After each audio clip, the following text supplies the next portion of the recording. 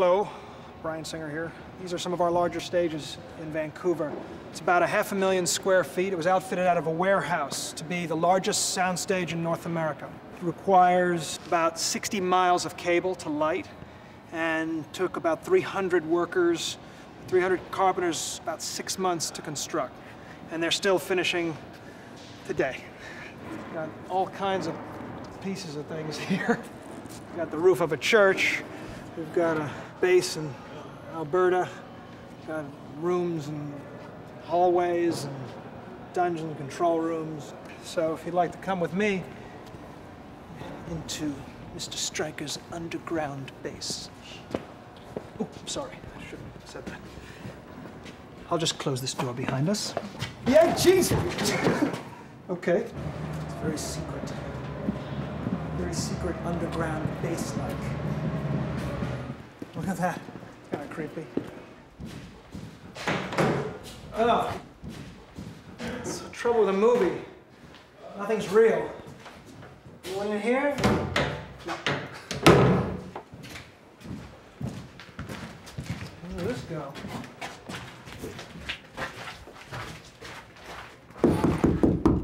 Doesn't sound like rock. Oh, look, there's one of the writers, Mike Dougherty. Did I mention him?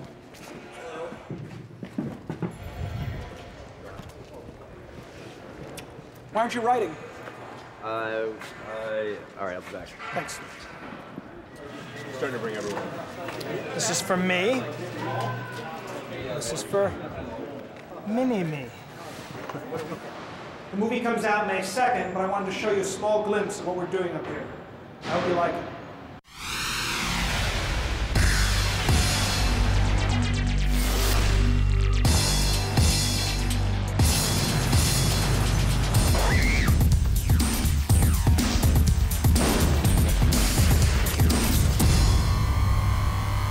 In X2, we know the world, we know the characters, so we can just have a hell of a lot more fun. It's going to be a bit more complex.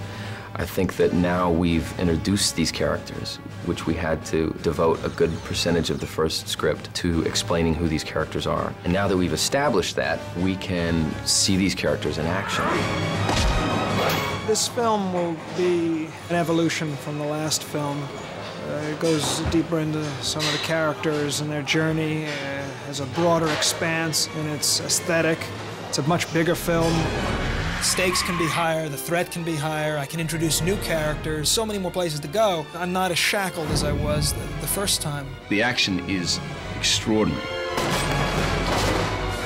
The special effects are mind-blowing. It really has raised the bar. There is a very dramatic incident in Washington, D.C. And the story of our movie is how that crisis of the world now formally, actively turning against the mutants. We're basically in the beginning of a, almost a war between mutants and humans. We encounter a man called William Stryker, and he becomes my nemesis, and for the rest of the X-Men in this story. Mr. Stryker, what are you doing, trying to turn this into some kind of war? So we now have a, a sort of three-cornered conflict here. There's Magneto with his point of view here, Xavier with his, and then William Stryker, representing the hostile, antagonistic human world. Don't talk to me about war. This already is a war. At the end of X-Men 1, during the scene in the plastic prison when Xavier and Magneto are playing chess, Magneto says, aren't you afraid that one day they'll come for you and for your children? What do you do when you wake up to that? I feel a great swell of pity for the poor soul who comes to that school looking for trouble. It's proved to be one of the climactic sequences in this film. You know what? I've run into a couple of people, fans from the first movie. They go, I want to see Wolverine really cut and loose, you know, really cut and sick. You get it in this scene. I'm happy to say that pretty much everybody's back in the cast. Some people have grown up a little bit, and there's a couple of new characters. I play Nightcrawler, whose special thing is he can teleport. And he also has a tail and he's blue and his funny hoofs. Another exciting thing about this picture is it's a chance to explore some of the younger characters. What I was very fond of in the first movie was it's not just a group of our heroes, there's a whole school full of gifted students. The ex-kids do get quite a featuring, you know, role in this, and particularly the character of Iceman, Anna's character, Rogue, and Pyro. X2 is part of a saga. Each movie is not meant to be a complete whole, it's meant to be an episode, essentially. And, and there's something wonderful about that. You're part of X-Men 1, they get to be part of the sequel, and I think it's all in the hands of those great characters. We've arrived, people know who we are, and I have a strong sense that fans and cinema goers are really looking forward to what the leap forward is going to be now with this movie. So get ready.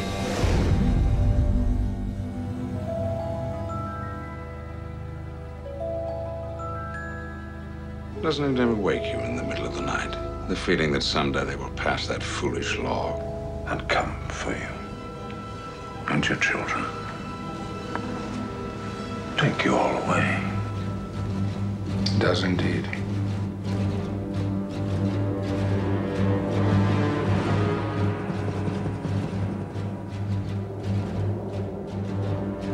I feel a great swell of pity for the poor soul who comes to that school looking for trouble.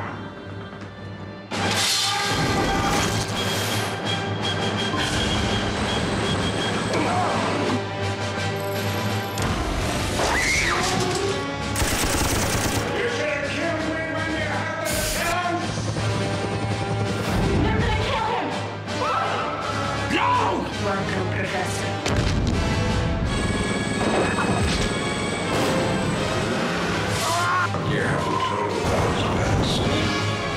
He? I can't remember.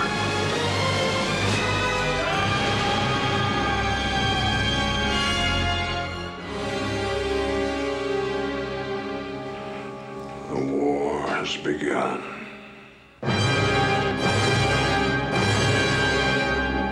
Erik, what have you done?